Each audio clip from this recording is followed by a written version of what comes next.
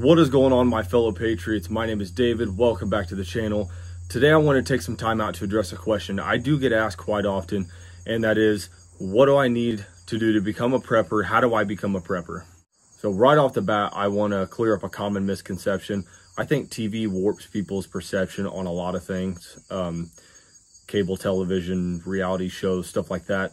And I've seen bits and pieces of these prepper shows, and these people have these underground bunker houses and stuff like that, um, something of that sorts. And there's nothing wrong with that. I think about 90% of us preppers are people who just kind of do it in their free time and just do it when they have spare money uh, to put towards it and not people who spend their life savings or, you know, paychecks on it.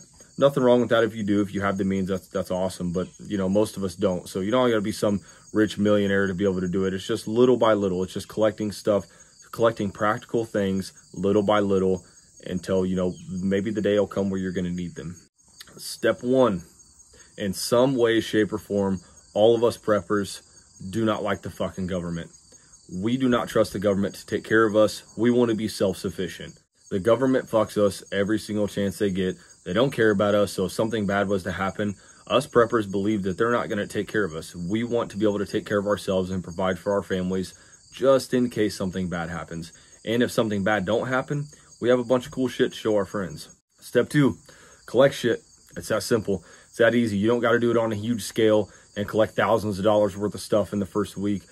All you have to do is just collect stuff that would be useful if a catastrophe happened, if something bad happened to where you couldn't rely on the things that you rely on every single day. Great guideline if you're lost on what to collect, you have no idea where to even start, would be the rule of threes. In the outdoors community, we have something called the rule of threes. It's a generalization. Um, there are some weird outliers every once in a while, but you know, generally speaking, the rule of threes is a good place to start. So the rule of three goes that you can survive three minutes without air, three hours without shelter in a rough condition, three days without water, and three weeks without food. And some people add some extras on there, whatever, but that's basically, generally speaking, that is the rule of threes. Based on the rule of threes, a good place to start would be a way to make shelter. You need to collect ways to make shelter.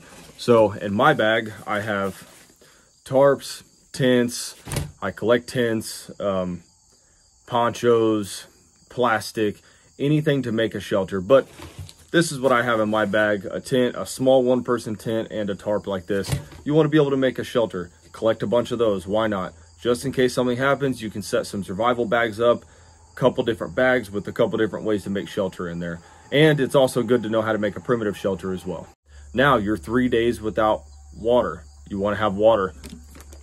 Collect water. I have a bunch of these. I have a bunch of uh, jugs of water, gallon jugs of water. Um, collect ways to collect ways to purify water.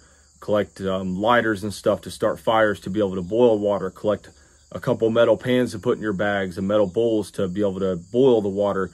Um, water tablets to purify the water um, you'll die of thirst way before you'll die of hunger, according to our rule of threes. Right next to water and shelter, fire is, oh my God, so important. You just, most people have no idea what it's like to be cold and wet and hungry and, oh God. So if you can help it, collect for a fire. You need a fire. Oh my God, you need a fire. Most preppers have this right here. Just dryer lint. We have it shoved in a bag with a bunch of other flammable shit just in case, you know, I want to be able to, just in case you can't start a fire good, you need something flammable. This is awesome. It's free. You get it every time you do laundry. We have it in a bag, collecting it in a bag. Some people might call me crazy. I just say I like being warm. I just got gifted these, Mr. Lionfish. Thank you so much, buddy. These are amazing. Um, little pieces of wood. It looks like pine, maybe. I'm not sure. But it's just soaked in kerosene or gasoline, one of the two. Lighter fluid, something like that.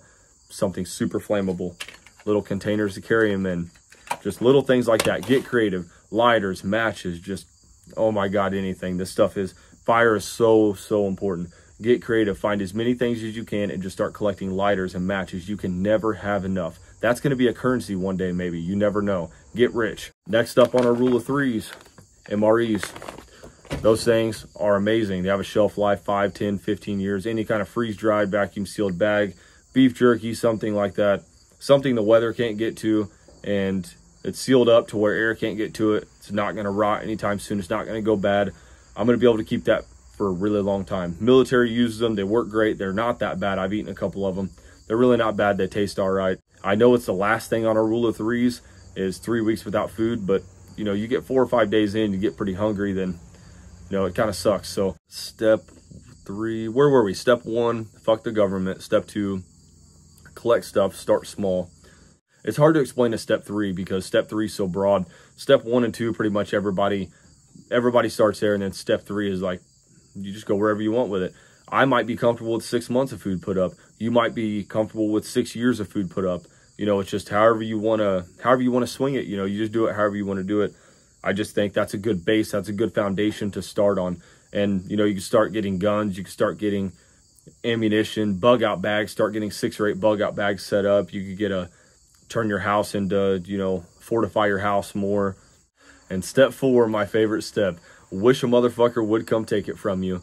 You are out of your mind if you think that at the end of times or a bad catastrophe happens, that people aren't going to be knocking on your door, kicking your door in, trying to get the shit that you've collected. Think about this for a second. What would you do for your kids? Say you have a four month old that hadn't eaten in two days and you have no formula and you need formula or you need something for the baby to eat. What would you do for? You know what you'd do your next door neighbor is going to do the same thing, or the dude down the road that needs it's going to do the same thing. And if he knows you have it, there's going to be a war. You better be able to defend yourself. You better be able to defend your property and everything you've got because there are going to be people coming for it. All right, let's recap this. Step one, fuck the government. Step two, start collecting, start small. Step three, wherever you want to take it, wherever you want to take it, however you feel, however far you feel like going. And step four, wish a motherfucker would come take it from you. If I could give anybody any piece of advice in life or the prepper journey or anything like that would be be self-reliant. Don't depend on anybody for shit if you can help it. And that is all I got for you today, my friends. God bless America. Communist lives do not matter. And I will see you patriots next week.